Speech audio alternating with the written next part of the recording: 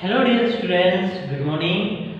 Good morning to one and all. So students, in this period, this we are going to discuss about the remaining portion. Okay. From this lesson means actually lesson number three. Let's be clean and healthy. So just uh, uh, revision revision is going on. So the initial portion of this lesson we have seen already yesterday means in the last previous period. So today just we want to discuss here. I want to discuss here in this lecture about the common human diseases. Okay. अभी common human diseases क्या होती है? ठीक है ना? जैसे हम देखते हैं जनरली कि आप हमारे दैनंदिन जीवन में या फिर डेली लाइफ जो है, इसमें मेरा देखते हैं कि हम कंटिन्यूसली वर्क करते हैं। ठीक है? कोई जॉब करता है, कोई अपना बिज़नेस संभालता है, कोई फ़ार्मिंग करता है मीन्स एवरी पर्सन है there different different types of occupations ठीक है? अलग अलग उनके एक व्यवसाय है, काम धंधे है। ठीक है ना? तो वो क्या होते टायर्ड हो जाते हैं। कंटिन्यूसली वही काम करते करते वो टायर्ड होते, थक जाते हैं।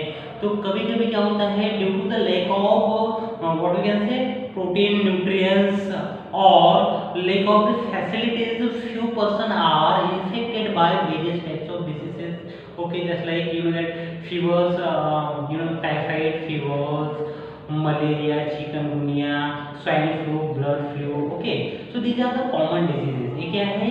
Common diseases है जनरली ये ये इससे ग्रसित होती है, ठीक है ना? जो पीपल है, लोग है, इससे ग्रसित होते हैं। And why they are infecting और affecting because of the carelessness ठीक है ना? मीन्स वो क्या करते हैं? बेपरवाह रहते हैं अपने शरीर की, अपने बॉडी की परवाह नहीं करते और इसीलिए शरीर मीन्स एक्चुअली उसमें खान पान से लेकर नीट सारी चीज़ें, ठीक है ना?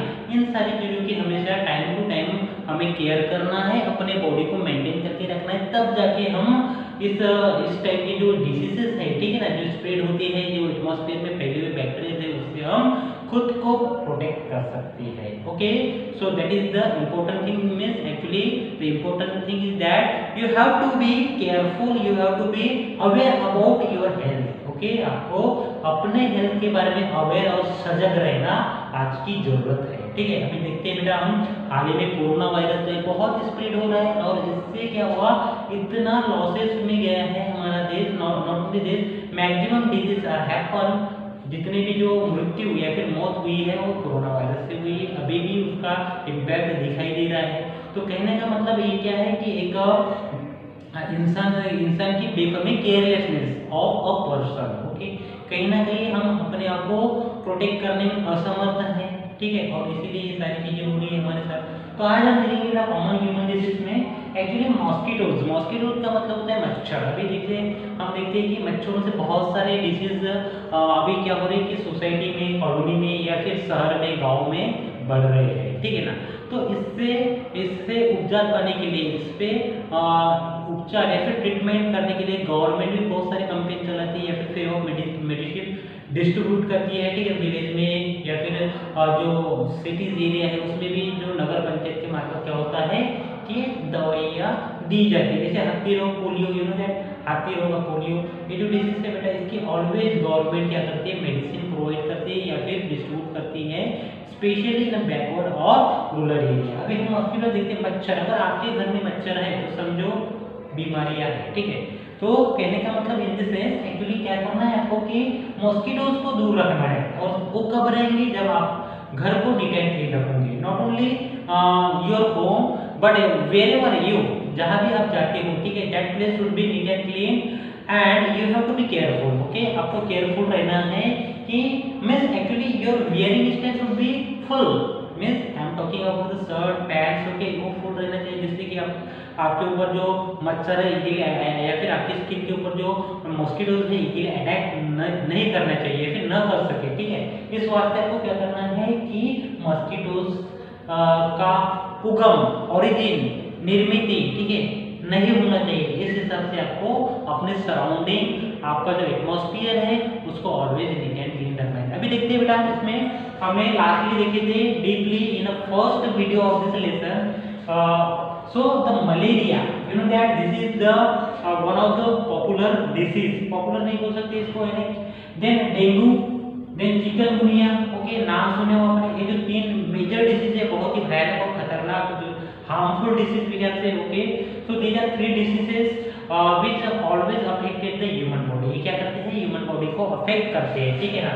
तो ये क्या होता है कि मलेरिया एक्चुअली रोग जो है मलेरिया तो इसमें फीवर जनरली क्या होता है? टेम्परेचर बढ़ता है बॉडी का साथ ही साथ फीवर होता है। डेंगू डेंगू भी मच्छर के काटने से जैसे मच्छर bite bite actually mosquito bite से होते हैं। तो मॉस्किटो बाइट हमारे स्किन को आ, काटने के बाद एक्चुअली जो पॉइजन रहता है मच्छरों में हमारे बॉडी में स्प्रेड हो जाता है ठीक है? कहीं ना कहीं वो अपने खाने के लिए ओके और means actually blood is their food source blood क्या है?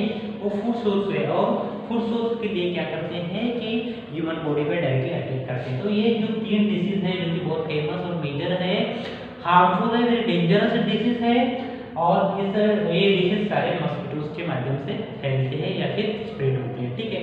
तो आपको क्या करना है कि आपको कुछ प्रिकॉशंस कुछ इंपॉर्टेंट टर्म्स दिए हैं, कुछ पॉइंट्स दिए हैं आपके बुक में, उसको फॉलो करना है ताकि आपके घर में मच्छरों की पैदाइश ना हो, ठीक है ना? क्योंकि मच्छरों से ये डिसीज होता है, इस डिसीज से आपको या फिर अपने स्वास्थ्य को, अपने बॉडी को प्रोटेक्ट करना है प्रिवेंट करना है तो ये सारी चीज़ें या फिर इससे रिलेटेड जो भी प्रिकॉशंस पॉइंट्स दिए हैं, उसको आपको अडॉप्ट करना है फॉलो करना है। क्लियर तो that was the human common human disease means actually mosquito borne disease यानी मच्छरों से निर्माण होने वाले डिसीज उसके बाद हम देखेंगे हाउस फ्लाई हाउस फ्लाई का मतलब होता है मक्खियाँ, ठीक है ना? अभी मक्खियों से ये दो टाइप के डिसीज होते हैं। ठीक है ना? क्योंकि मक्खियाँ हाउस फ्लाई जो है जनरली क्या होता है डेंस एरिया में बैठती है, ठीक है ना? मीन्स खराब। और ज़्यादातर स्वीट्स ठीक है, जैसे हम स्वीट्स परचेस करने जाओ आप किसी भी बेकरी में जाओ या फिर रेस्टोरेंट में जाओ तो उसमें भिन्न भिन्न भिन्न मक्खियाँ करती रहती है, ठीक है ना?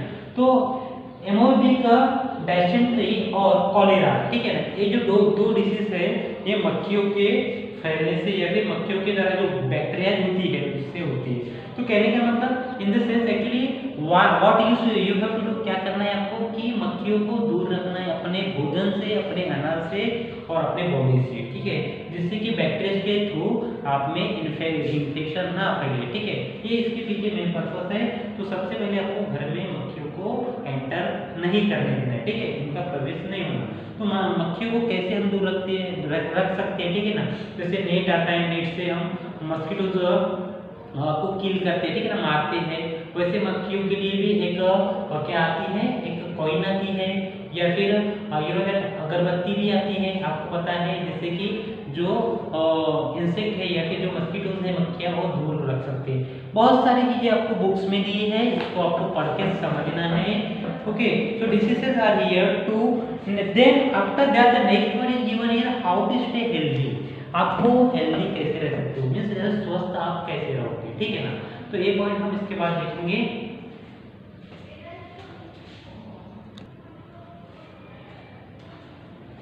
So students now I'm taking the help of your textbook here. Actually this is the two diseases okay means amoebica dysentery and cholera. So what are the symptoms? Symptoms इसके क्या है जैसे इसमें देखते हैं diarrhoea vomiting and stomach aches ये जो रोग होता है डिज़ीज़ तो इसमें जनरली हमारे पेट से मीन्स एक्चुअली अपचन होने से क्या होता है? वोमिटिंग होती है मीन्स उल्टी होती है। देन स्टमक मीन्स पेट में कुछ एचेस या फिर दर्द हो जाना शुरू हो जाना, ये सारी चीज़ें जनरली इस डिसीज के दौरान दिखाई देती है।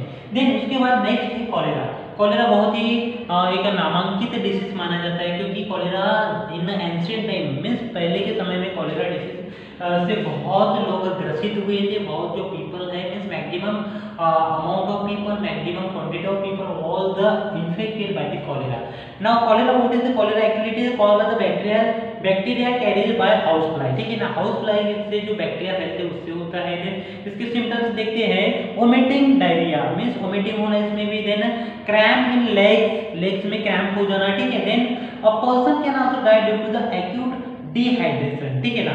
मीन्स पर्सन क्या होता है? मर सकता है एक्यूट डिहाइड्रेशन डिहाइड्रेशन में शरीर में पानी की कमी होना, ठीक है?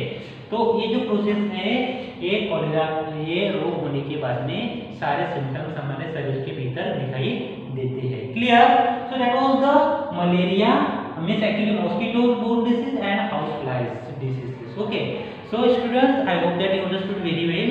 Because I am uh, taking this uh, taking the revision here and that's why I am means fastly explaining that all such points okay so if there will be any doubt or queries then you may contact me now we will see the how to stay healthy अभी हम खुद को स्वस्थ कैसे रख सकते हैं ठीक है हमें हमारा जो आरोग्य है या फिर स्वास्थ्य है उसको एकदम नीट एंड क्लीन या फिर अप फिट एंड फाइन हम खुद को कैसे रखेंगे तो इसमें कुछ और पॉइंट्स दिए हैं जिससे कि आपको समझना है और खुद डेली लाइफ में उसको इम्प्लीमेंट करना है। ठीक है ना? जैसे देखिए फ़र्स्ट बात everyday keep your hair clean पहले तो सबसे पहली बात आपको डेली नहाना है और अपने हेयर क्लीन क्लीन रखना है। ठीक है? Second point given here keep your nails trim में आपको नेल्स देखो नेल्स के द्वारा हम जो अन्न खाते हैं या ग्रहण करते हैं फ़ूड वो डायरेक्टली हमारे पेट में जाता है। तो आपको अपने nails time to time cut करना है। इसलिए इस चीज़ के ऊपर आपके टीचर भी आपको प्रेशराइज करते हैं। Always in the classroom in the assembly also okay so this that thing you have to do you have to adopt in your daily routine ठीक है? Then next one maintain a good hygiene ठीक है? Dental hygiene means कहने का मतलब दांत से related है। आपके हाइजीन ठीक है? अच्छा खाओगे तो आपका मुँह साफ़ रहेगा, ठीक है? या फिर स्पाइसी पदार्थ पिज्जा बर्गर ठीक है ना? ऑयली फूड्स ये सारे खाओगे तो डेफिनेटली उसमें कुछ ना कुछ आपका जो डाइजेशन सिस्टम है माउथ उसमें बिगाड़ आता है डैमेज होता है, कहीं ना कहीं इम्बेलेंस होता है तो इस चीज़ को आपको ध्यान में रखना है। Next one maintain good dental then wash your hands openly आपको हाँ बार बार हाथ धोना है। ठीक है ना? हैंड वॉश करना is a good habit okay after the meal and before the meal जब भी कोई टास्क करते हैं, उसके बाद आपको हैंड वॉश करना है हैंड वॉश का यूज़ करना है। Then next one sleep right eight eight means eight to ten sleep must be make to few feel refresh ठीक है? आठ से नौ घंटे आपकी नींद होना ज़रूरी है क्योंकि आपको फ्रेशनेस फील करवाती है। जब तक आपकी नींद नहीं होगी, आपका कोई भी काम में मन नहीं लगेगा और इसलिए एटलीस्ट कम से कम एट से nine hours it is compulsory to take the sleep okay means sound sleep then next one uh, here get your vaccine shot on time vaccination करना है आपको मींस टाइम टू टाइम अगर doctor ने कुछ बताया तो आपको प्रिकॉशन लेना है मेडिसिन लेना है कोरोना वैक्सीन हो चाहे प्लस पोलियो हो जो भी है आपको वैक्सीन टाइम टू टाइम लेना है that is the compulsory now the next one uh, never you are contain food with the uncovered kept for the long time ठीक है का मतलब आपको अनकवर्ड फ़ूड लॉन्ग टाइम तक रख, रखना नहीं है ठीक है ना? कवर्ड अगर वो ड्यूरेबल है बहुत ज़्यादा देर तक रह सकता है उसी को रखना है अदरवाइज़ जो वेस्टेज फ़ूड है उसको आपको क्या है एनिमल्स को खिलाना है या फिर उसको अलग डाल देना है उसका सेवन आपको नहीं करना है। Clear then after that last one follow sport activities such as jog jogging running dancing cycling swimming etcetera ठीक है? अभी ये एक्टिविटी क्यों बताया गया आपको? क्योंकि आपके शरीर का पूरा एग्जर्शन होना चाहिए, ठीक है? Means it should be flexible आपका शरीर फ्लेक्सिबल होना चाहिए। जॉगिंग रनिंग साइकिलिंग स्विमिंग ये जो एक्टिविटीज़ है, इसमें आपको एक्टिवली पार्टिसिपेट करना है।